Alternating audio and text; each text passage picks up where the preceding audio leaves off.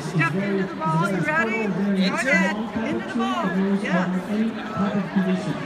The idea is, is that this bowl has been made in a sacred way. And the sacred way is that it's putting loving kindness and healing into the bowl as they make it. So when you hit the bowl and create the vibration, it's sending healing energy to you and to the world and all living beings. So here we go.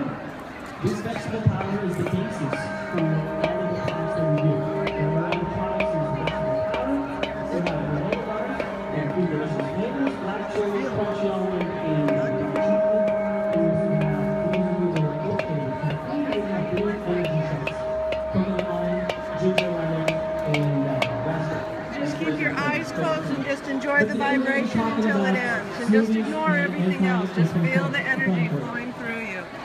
Just as a little bit more background, uh, moringa is a little bit healthier than kale. It's very high in calcium. It's very high in iron.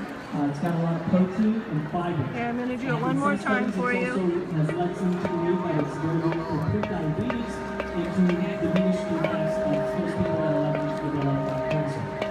What I'm going to put together a little smoothie for you. I'm going to walk you through the, uh, through the ingredients, through the, little bit of history behind it, and then we can have uh, some samples.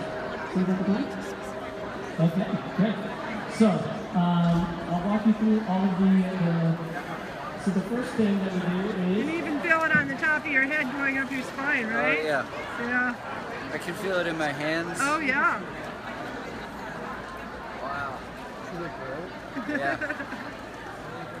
Thank you for being open and experiencing it. Yeah. Thank you. That was great. Obviously if you were at home, you would have had this cut up on a nice board through the magic of Okay, Canada and, Road uh, and Creek Cut this Yoga. Expo So, continues. Yes, would you like to have an use a little bit of experience too? cup Of uh, frozen berry blend.